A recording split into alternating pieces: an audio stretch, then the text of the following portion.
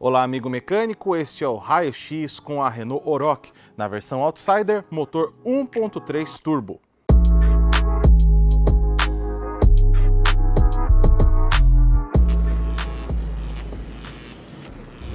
Depois do novo Captur e do novo Duster, agora é a vez da nova Oroch passar aqui pelo raio-x da revista O Mecânico. E para analisar a nova versão da picape, nós trouxemos o Fernando Araújo, da oficina Motor France SP, especialista em marcas francesas. Meu xará, Fernando. Tudo bem? Obrigado Bom, por ter aceitado o convite Estamos da revista Mecânico. Que agradeço nós. Fernando, há quanto tempo você está na mecânica automobilística e como você viu a oportunidade de se especializar em marcas francesas? Tudo bem, Fernando. É assim, ó, na parte mecânica, vamos falar assim, automobilística, eu sou desde criança porque minha família vem de mecânico. Pai, irmãos, todo, todos nós somos mecânicos. E para trabalhar com a marca francesa, na verdade, comecei com a linha Renault, isso em 93, logo que abriu importação, né, que aí trouxeram os carros e veio a Renault, veio inicial com o grupo Caoa, e daí em, em diante comecei com o Renault e fui trabalhando em concessionária, fui trabalhando dentro da fábrica da Renault e também trabalhei com, os, com as, os franceses Peugeot e Citroën, que é a PSA, já com oficina mecânica, já sendo proprietário de oficina mecânica. E eu tenho hoje oficina há 25 anos, oficina própria há 25 anos, iniciando em São Caetano e depois agora a gente está aqui na Rua Vigário Bernardes, número 31, na próximo da Ricardo Jafé. Então a gente está aí no mercado desde 93, bastante tempo. Muito bacana, viu toda a história da Renault aqui no Brasil e agora um novo capítulo com esse motor 1.3 turbo flex, gasolina e etanol, e ele é bastante diferente, ele inclusive ele vem de uma parceria com a Mercedes-Benz lá na Europa. Mas vamos ver o que, que tem embaixo aqui do capô primeiro, vamos antes da gente continuar o papo? vamos lá!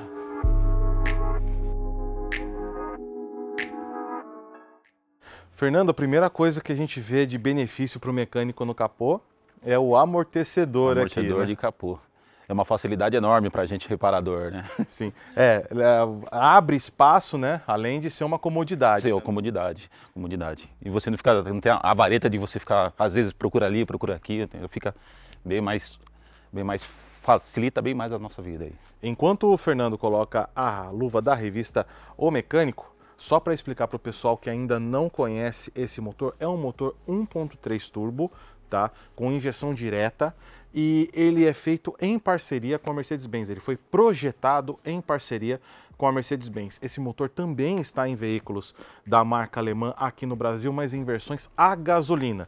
Essa versão Flex aqui é da Renault com 170 cavalos no etanol e 162 na gasolina. Possui aí também aquele torque é, estratificado, né? ele é bastante constante, então é um motor que rende bastante em baixa né, é um motor adequado para uma picape desse porte né? embora seja apenas 1.3. O pessoal está muito acostumado a avaliar motores, né? se o motor é potente, se ele é forte ou não, apenas pela cilindrada. Hoje não é mais não assim. Não é mais né? assim. Tanto é que você tem 170 cavalos no motor, no motor de 4 cilindros, né? Sim. por conta do turbo, você tem essa, essa potência né? que atinge.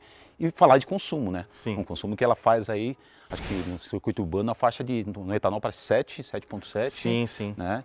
E 10 e 11 de estrada. Então, quer dizer, para o motor 170 cavalos, o consumo é bem, bem su, su, é sugerido, né? Bem, bem... É, é, um consumo, é um, um consumo, consumo, bem bacana, bem né? bacana, um consumo exatamente. bastante aceitável, ainda assim, levando-se em conta que não é um veículo é, leve, né? É um veículo médio e de carga, então é um veículo que tem que aguentar, é, tem que aguentar um pouco serviço, né? Sim. Então é, ele é bem dimensionado para nesse sentido. E vamos direto à estrela do show, que é o motor, e o sistema de injeção direta que continua sendo novidade, apesar de ser o terceiro modelo né, com esse motor da marca Renault, aqui no Brasil, ele continua sendo novidade a injeção direta. É, na sua experiência, você já recebeu motores com injeção direta lá na Motor France? Sim. Conta um pouco sobre o que você achou aqui com relação ao sistema e a sua experiência com injeção direta. Vamos lá. Que que, é que, quando a gente fala em injeção direta, a gente fala em bico injetor direto na câmara de combustão. Uhum. Por isso você ganha, você tem que ter uma alta pressão em cima dos bicos para você ter uma, uma queima bem homogênea, né? O que, que a gente tem de facilidade, vamos falar de uma injeção direta? A injeção direta a gente está falando em bomba de alta, uhum. certo? Bomba de alta, você tem uma bomba Você continua tendo a bomba de combustível normal no tanque, que atinge uma pressão mais ou menos de 4 bar, e depois vem para a bomba de alta, né? Bomba de alta, que é a bomba de alta que faz, faz justamente a pulverização do bico do, do, do combustível dentro da câmara de combustão. Basicamente, né, a bomba de alta trabalha no comando de válvula, ela que você vê que é uma, uma bomba de alta que ela vai direto no comando de válvula, não tem por engrenagem, ou por exemplo, alguns carros têm, né? Isso não, direto no, no, no cabeçote, direto no comando de válvula, ok? Os bicos injetores, sensor de pressão de rampa, né? A gente tem sensor de pressão de rampa, que é um, hum. quem faz toda a parte de, de, de, de demanda de quantidade de combustível não para os bicos, né? Que ele tem, tem que ter uma pressão excessiva, né? E Nesse caso, o turbo, né? A gente tem aí o turbo que ajuda aí também na injeção direta. O turbo está aqui atrás, aqui tá, a visualização dele está um pouquinho, tá um pouquinho encoberta. É um, é um cofre que, embora tenha espaço, ele é bastante povoado, tem bastante coisa acontecendo aqui. Com relação ao acesso desses elementos que você citou, o que, que você avalia nesse primeiro momento? Vamos falar turbo, tá? Você vê que o turbo ele está na parte de trás, né? Na parte traseira do motor é difícil acesso? É, você, tem, você consegue visualizar bem, mas você para ter acesso você tem que desmontar toda a parte de coletor aqui, toda essa parte de admissão, para você ter acesso ao turbo, correto? Saindo do turbo, vamos falar, você tem a mangueira que você, como é um turbo interculado, você tem um radiador do intercooler aqui na frente, certo? Uhum. Então essa mangueira, ela vem para o intercooler e depois ela volta, volta e tem a entrada no TBI, onde também tem um sensor de temperatura aqui na entrada do corpo de injeção, do TBI que a gente chama, tá? O que é bom de fácil acesso, que coisa que outros carros é, é bem dificultado. Bomba de alta, tranquilo, dá bom, bom acesso para você tirar. Bico injetor, sem problema. Você tem tirando a mangueira de entrada do, do, do intercooler, você tem acesso aos bicos injetores, fácil. E também você tem as bobinas, bobina e vela, uma por cilindro, uma por cilindro, que também você tem bom acesso aqui para você ter essa parte de ignição e injeção. Certo, aqui no TBI também a gente também tem, tem várias mangueiras aqui que estão é, conectadas e a gente percebe que a base dele é de plástico. Como a gente já comentou em outros raios-x, é, hoje em dia o mecânico ele tem que se acostumar com cada vez mais peças de plástico é, estruturais, estruturais, onde, onde on, antes não havia plástico. E não é uma questão de redução de custo, é uma, é uma questão de ser um material mais adequado, que agora existe a tecnologia para desenvolver uma peça é, desse material. Você ainda pega muita peça de plástico quebrada por excesso de torque? Qual que é a importância de você fazer o aperto correto, principalmente nesse tipo de, de peça que envolve aí admissão, envolve lubrificação? Justamente o que você falou.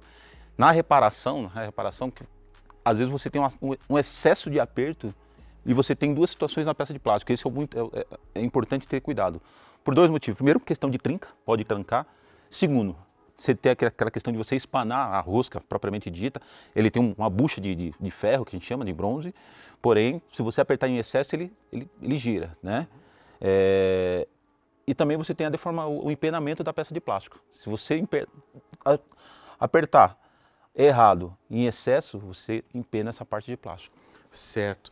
E aqui, aqui ainda no TBI, nós estamos vendo várias mangueiras aqui sendo conectadas. Explica um pouco para quem está nos assistindo é, o que, que você analisa dessas mangueiras aqui, como diferenciar uma da outra. Vamos lá. Boa parte dessas mangueiras a gente está falando de norma de antipoluição, certo? Norma de antipoluição. Por quê? São reciclagens que vêm da, da linha de escapamento que refaz a admissão para jogar justamente os vapores, os vapores de combustível e vapores de, de do motor que ele sai, né, que você tem os vapores, para dentro, para queima da admissão de novo. Então, boa parte dessas mangueiras são, são para essa finalidade, tá? Fora a mangueira que a gente tem, né, uma, uma bomba de uma bomba de vácuo, né, uma bomba de vácuo que faz a função do hidrovácuo. Certo. Tá? Então você tem bomba de vácuo para você ter tem a função do hidrovácuo. É, a admissão costuma agora trabalhar com pressão positiva, né? Então, pressão então, positiva, exatamente. Por isso você tem uma bomba de vácuo para você ter depressão, no, assistência no hidrovácuo de freio. Né? Certo. Indo já direto para freio, a Renault recomenda a troca do fluido, e é um fluido DOT 4 é, mais, é, a cada 80 mil quilômetros ou 4 anos. É um período um pouco prolongado. Né? Prolongado. Né? A gente costuma trocar fluido de freio, 40 mil é uma boa quilometragem, tá? Com exceção quando você tem uso severo. Quando a gente fala de uso severo, quem, quem mora, por exemplo, em, em, litorais, que você tem serra, você costuma descer e subir, você tem muito, muito é, esforço de freio. e isso você cria vapores de, de água dentro do freio, automaticamente você diminui pelo menos pela metade esse período de troca, ou seja, a cada 20 mil é uma boa, é uma boa, uma boa quilometragem para você trocar o fluido de freio. Sem contar que é um elemento de segurança, toda troca preventiva é pouco, né? Quando, puder, quando puder cuidar do freio, cuide, Melhor, né? Exatamente. E também sobre também é, fluidificação ainda, voltando agora é, para o motor. A parte de arrefecimento, aí o vaso de expansão está bastante próximo né, de você, sim, ba bastante à mão, né? E a Renault também recomenda a troca do fluido de arrefecimento a cada 80 mil quilômetros né, ou 4 anos. Qual é a sua avaliação sobre isso? Falando de arrefecimento, primeiro a gente tem que, tem que pensar o seguinte: é, se adiciona água, água desmineralizada, toda vez que você tem, você tem um pouco de perca, é normal, você tem um, a cada, olhar pelo menos uma vez por semana usuário, olhar a questão do aditivo, tá? E só completar com o aditivo original tá? aditivo original, etileno glicol, tudo certinho, com a, com, a, com a especificação do fabricante. A gente costuma trocar justamente na faixa de 40 mil, tá? 40 mil. Com exceção naquelas condições que você tem que fazer algum tipo de reparação né, alguma mangueira, alguma coisa, mas 40 mil é uma boa quilometragem para a gente trocar o, fluido de, o líquido de arrefecimento. Certo. Ah, outros elementos aqui com relação à, à reparabilidade aí, que são elementos de desgaste. É, as correias de acessórios aí pelo seu lado não são muito acessíveis, não, né? Não é acessível, mas você tem, vai ter que levantar o carro para você ter acesso às correias. Na verdade ele tem uma correia, uma correia só que faz a parte de ar-condicionado, alternador, tá? E bomba da direção e bomba bomba d'água. Certo. Ok? E você troca ela com 80 mil. 80 mil ou 4 anos de uso, conforme está descrito no manual. Coxinização do motor, como você avalia? Coxinha hidráulico, de plástico, né? De plástico, mas coxinha hidráulico e de fácil acesso. Você tem total fácil acesso para você ter, ter substituição dele.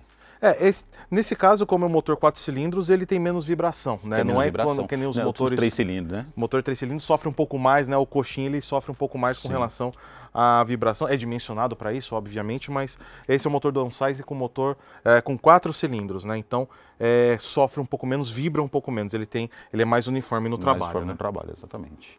Uh, outros elementos aqui com relação à reparabilidade. Você citou a questão do intercooler, ele é bem aqui dentro da, do para-choque, Bem né? dentro do para-choque. Na verdade, para você ter acesso, você tem que tirar a parte frontal do carro para você ter acesso a, a, justamente ao intercooler, né? E acesso ao radiador. Não é facinho de tirar, não é facinho de você remover ele daqui, né? Algum tipo de reparação em cima de intercooler, só se você tiver algum problema de turbina. Certo. Né? Se tem algum problema de turbina, que ele pode jogar, se ele jogar óleo para cima, por exemplo, da admissão, esse tipo de coisa, você tem que tirar o intercooler para você fazer a, a, lavagem dele, ou seja, fazer a limpeza em caso de você ter um problema de, de turbina e ele jogar óleo para dentro da turbina. Fora disso, não existe nenhum tipo de manutenção preventiva que você vai fazer em intercooler, tá? Porém, a gente está falando de reparabilidade, falando de motor, falando de, de, dessa parte de admissão, na, na, na, linha Renault a gente está acostumado a trocar filtro de ar, por exemplo, já estava pré-determinado pelas manutenções preventivas, trocar a cada 40 mil. Depois passou para 20. Na Oroch, nesse motor e na Duster, é toda a revisão. Ou seja, cada 10 mil você tem que trocar o filtro de ar, né? O filtro de ar do motor. Justamente para quê? Para você preservar a turbina. E, uma da, e um dos fatores aí para preservar a turbina, né, tem tanto apuro assim com relação ao, ao filtro de ar, né, é também manter a lubrificação em da dia, turbina, né? Exatamente. E aí a gente já entra em filtro de óleo tem aí o bocal de abastecimento e a vareta aí de óleo. Uma coisa interessante, né, a gente ficou tão acostumado com é, algumas marcas de óleo serem as nativas das, das marcas, né? A Renault, né, muita gente não viu que a Renault trocou o óleo para Castrol. Né? Agora a marca Castrol é o, o primeiro enchimento Oficial, da Renault. Né? Né? E eles têm uma especificação bastante diferente para esse motor, ou pelo menos não seja diferente, inesperada. Né? Porque você bate o olho na revisão, né, na especificação de revisão do óleo, está lá escrito 15W40, aí você se assusta, né? Poxa, motor, motor turbo novo com 15W40, viscosidade 15W40, você fala, não, tem, né? geralmente isso a gente usa em motores mais antigos, né? O motor desse seria um 530, mas o que mudou foi justamente a questão de especificação. Não é especificação, né? A, a classificação, classificação, de serviço. De serviço a óleo. classificação de serviço é específica, né? Então a questão da viscosidade ela tem que ser observada nesse motor, mas o mais importante é que se siga a especificação de serviço ASEA A3B4, que é uma classificação de serviço avançada. Então é uma coisa que a gente vem falando aqui no canal já, não só no Raio X como em outros programas. A viscosidade é um referencial? Sim, é importantíssimo? Com certeza, né? O motor, ele tem uma viscosidade planejada, mas não é o único referencial para você comprar um óleo no mercado. Também tem as normas de montadora, classificação de serviço, isso tem que ser observado. Não é qualquer óleo 15W40 que deve ser colocado aqui, Exatamente. né? Exatamente. O que a Renault muda com relação à viscosidade do óleo né, na, no plano de manutenção é com relação à viscosidade a frio, ou seja, a viscosidade W. Então aí nós temos o 15W40, aí para temperaturas aqui do Brasil, que seria até menos 15 graus de operação, e aí depois ela faz a classificação para 10W40 e para 0W40 para temperaturas ainda mais baixas. Mais baixas. Mas aí já são Não temperaturas que, que, dificilmente você encontrar, acho que é quase impossível de se encontrar é, no Brasil. Então, mais uma vez, reforçando, olhem a classificação de serviço ASEA A3B4 antes de colocar é, óleo 15W40 de preferência né, nós recomendamos fortemente que se siga aí a classificação original para não ter surpresa aí com o motor, Nesse porque motor. motor downsizing, embora tenha todo um trabalho de redução de atrito e tudo mais, é um motor mais delicado, né? É um motor mais delicado. Você vê que todas as peças dos motores é todo, todo em alumínio, né? Injeção direta, lubrificação de turbina. Então você tem que ter o óleo, você tem que trabalhar com óleo específico da montadora, justamente para você ter essa proteção do motor e durabilidade. Isso aí é importantíssimo, né? Não é só o 1540. Classificação é, é muito importante. Ah, o sincronismo também é um sincronismo por corrente, então também está envolvido em lubrificação. Também está envolvido né? em lubrificação, justamente. É, duplo comando, duplo comando de válvulas variável, então é bastante, bastante é, avançado. Falando em tecnologias avançadas que são cada vez mais comuns uh, nos veículos, nós temos nesse veículo o start-stop. Né? Agora, agora a Oroch, né? e agora com o motor 1.3 turbo, ela possui o start-stop. Mas a bateria é importantíssima nessa função e ela tem uma tecnologia específica para isso. Né? Tecnologia EFB de 60 pé. E no caso, necessidade de substituição, a gente tem que atender exatamente as, essas mesmas especificações, né? 60 ampere e FB, pelas funcionalidades start-stop e até assistente de rampa também, né? Sim. Assistente de rampa. Então você tem substituição da mesma especificação. É, você conversa com fabricantes aí de sistemas de, de carga e partida, um carro com start-stop faz até cinco vezes mais partidas né, do que um veículo comum. Então tem que ser um sistema robusto e não dá para substituir essa bateria por uma bateria de tecnologia comum, né? Inferior. Não vai, não vai, não vai suportar, né? O próprio sistema não vai deixar entrar essa função do start-stop, né? Sem falar que a durabilidade da bateria vai ser bem menor.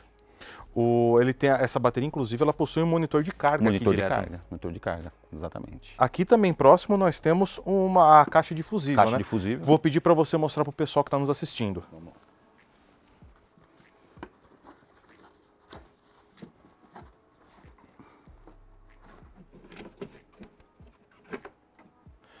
Para fazer essa remoção da tampa do caixa de fusível, a, o cabo do capô cabo atrapalha capô, bastante, atrapalha né? Atrapalha um pouco. A gente tem aqui, na verdade, você tem que levantar o cabo do, cabo do capô para você ter acesso, um acesso à, à, caixa de fusível, ok? E você tem uma caixa de fusível básica que tem todos os fusíveis de proteção de ventoinha, proteção de bomba de alta e também você tem os relés de potência, tá? Os relés de potências que são os relés de injeção, de, de toda a parte de, de, do cofre do motor, iluminação, farol, tá tudo dentro dessa caixa de fusível, mas é básica, tá? Uma caixa de fusível básica não tem nenhuma, nenhuma injeção eletrônica, tá? O que tem de eletrônico, vamos falar? A gente tem aqui o módulo de injeção, ok? Esse aqui é o módulo de injeção, fica bem aqui na, na coluna do amortecedor, tá? Ao lado a gente tem um filtro de ar, aqui é bom, fácil acesso, a bateria. O que você, a gente, a gente chama de é, gestão GCTA, tá? Que é o controle, que é a ventoinha, é controlada eletronicamente, tá? Antigamente você tinha resistência, você tinha uma resistência, que fazia primeira e segunda velocidade da ventoinha, ok? Já na, nas versões, não só na Dust, na Oroch, você tem é o módulozinho de, vento, de ventoinha, tá? É o módulo de controle da ventoinha gerenciado junto com o módulo de injeção, ok? Importante frisar que bem na lateral, que é esse câmbio CVT, a gente tem aqui a vareta de óleo, tá? Medições da vareta de óleo, que é feita com o carro ligado certo. em parque, certo? Então a gente tem vareta de óleo. Alguns modelos, não na linha Renault, mas outros modelos, por exemplo, não tem vareta de óleo. Nesse câmbio CVT a gente está com a vareta de óleo. E uma questão polêmica no mercado é que não existe a previsão de troca, né, seja parcial ou completa, do óleo desse CVT, apenas a inspeção regular, apenas né? inspeção regular. A própria fabricante, a própria Renault fala que você não tem troca desse óleo de câmbio, né? Mas a nossa experiência de mercado, a gente sabe muito bem que tem, você tem a degradação do óleo. Então há necessidade de troca, tá? Há necessidade de troca sim, tá? A gente costuma falar a partir de 100 mil. 100 mil é uma boa quilometragem. E lógico, sempre usando o óleo original, CVT original. Tá? Essa é uma questão bastante polêmica, a gente abordou em outros programas. Outras fabricantes que utilizam câmbio CVT também têm outras, é, outras especificações, outras recomendações. Então é uma coisa que ainda está se desenvolvendo aí junto com o mercado, né, no final mercado, das contas. Né? Para a gente terminar a nossa sessão aqui embaixo do capô. É, as sondas lambdas ficam, tanto a pré quanto a pós-catalisador, elas ficam bem visíveis Bem aqui, né? visíveis. Né? O acesso está bem fácil aqui, ó.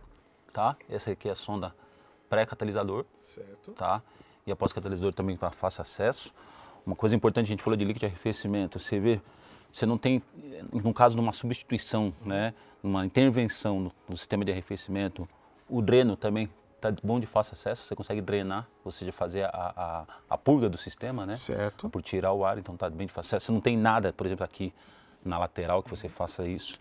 A válvula termostática que fica bem aqui debaixo, é um pouquinho dificultoso para você ter acesso, tem que desmontar essa parte, tem acesso à válvula termostática, mas nela não tem nenhum sistema que você consiga drenar, seria só esse, esse, esse tampão aqui, vamos certo. dizer assim, que faz essa purga do sistema sistema de ar-condicionado, né? Sim, Dos enchimento bem fácil, né? As, as válvulas de segurança aí para você fazer medição e, e, enchimento e testes, entendeu?